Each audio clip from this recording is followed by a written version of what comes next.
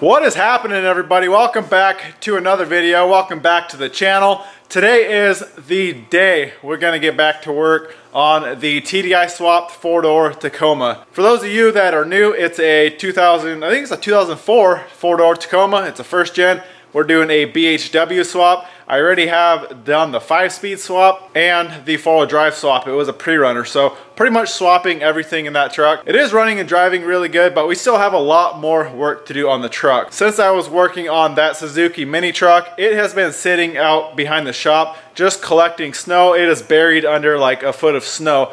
So we gotta get out there, get this thing unburied, I want to go for a quick little rip down the road, make sure it still runs. Plus, I haven't driven it for a while, so kind of excited to go bring it for a little rip. Anyway, let's go shovel it out, get it out, make sure things still runs, and then we'll get it in the shop, thaw it out, and we got a few things to do to it today.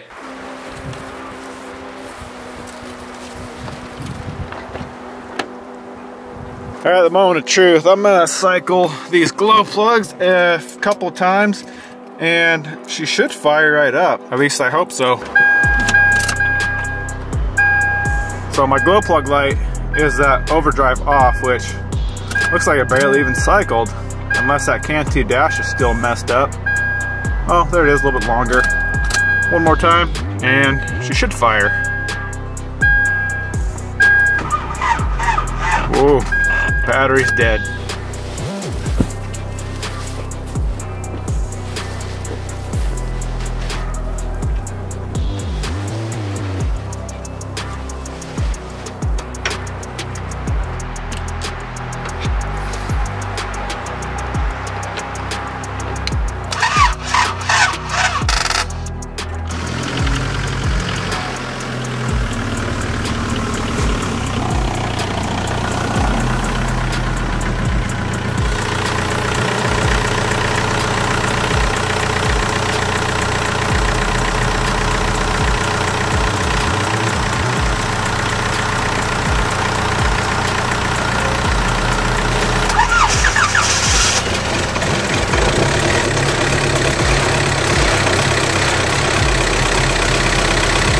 Well, we're alive with the uh, help of a jump start. That little jumper box I had was dead and that didn't work, but we are running.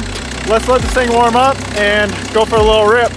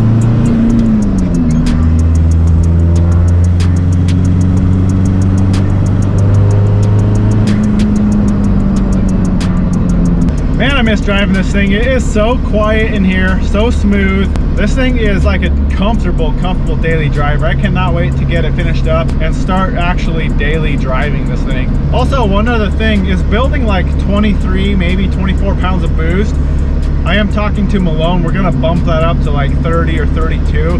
And this thing should run a lot better on 30, 32 pounds. But even right now on wet, it's not even snowy right here, but wet pavement, second gear is useless. It just spins. Third gear doesn't really spin. On 30 or 32 pounds, probably third gear will break them loose as well.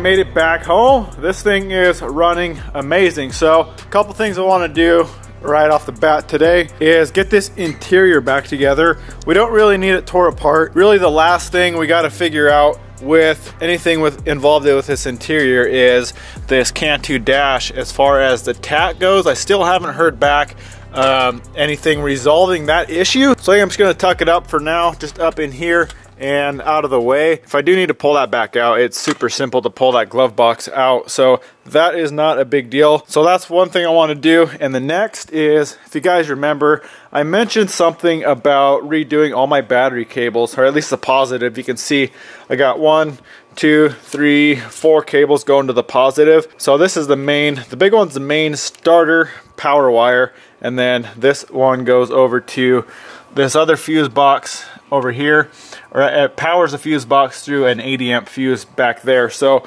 instead of having two wires running all the way to the other side of the engine bay I believe I bought a let's go look actually. I think it's a a double aught uh, battery cable here or it's a single aught 1-0 so that is plenty plenty of power for the starter and that other fuse. So what I'm gonna do run that one cable over to the starter and then I'm gonna piggyback another cable from the starter up to that fuse. I'll probably just cut this cable down and use that one and I think that'll work a lot better. Also what I got is this big distribution box, this bus bar. So I'm gonna mount this probably, I was gonna kind of put it down here right there but I don't know either I'm either gonna put it right there or build a mount and put it right here. I kind of like this idea right here better, but we'll figure that out. The reason I want to run this is I can run one cable from the battery to this and power this whole bus bar and then I can run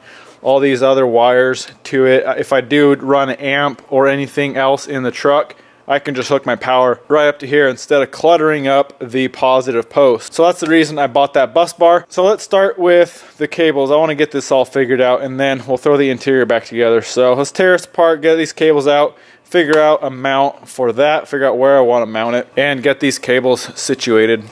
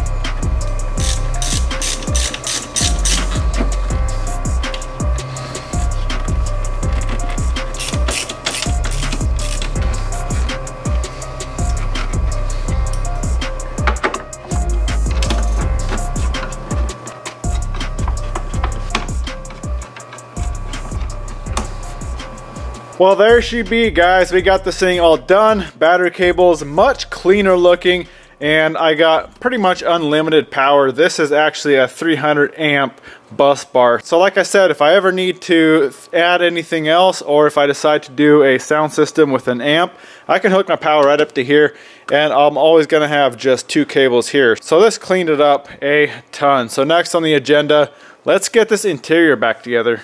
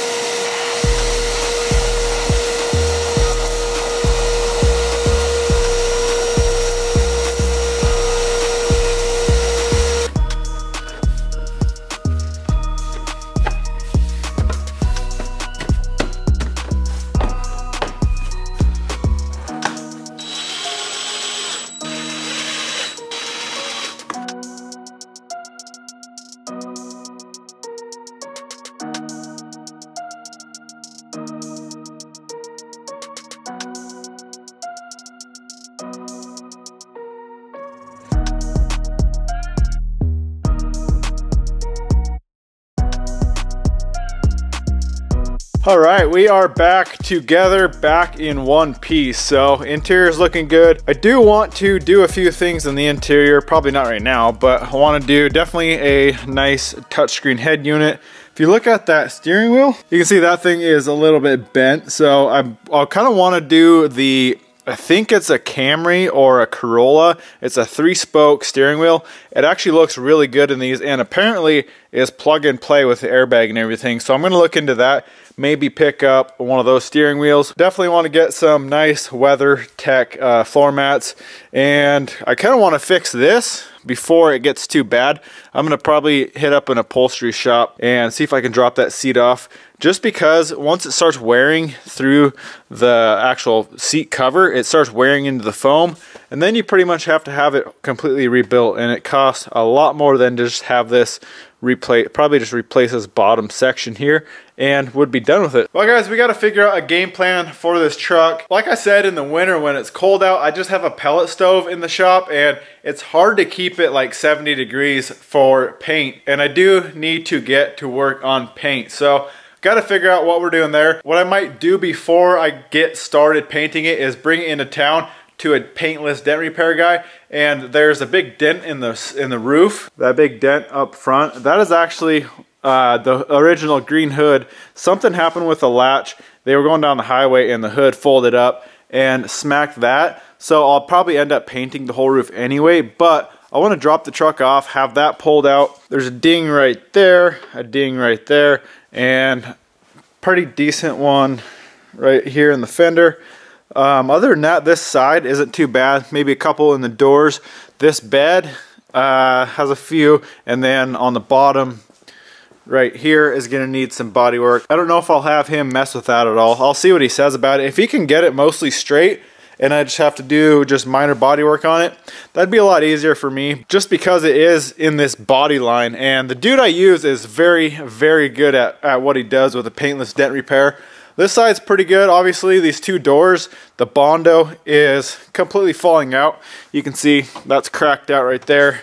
And that is completely falling apart. So I'm gonna have to strip all the Bondo out of these doors, try to get the metal pulled back out to where it should be, and then we can go through and paint it. So my next step, I really wanna get this paint just done with and not have to worry about it. Also, I don't want to put my lift and wheels and tires and everything on when the truck is so much taller, especially because I'm gonna be painting the roof.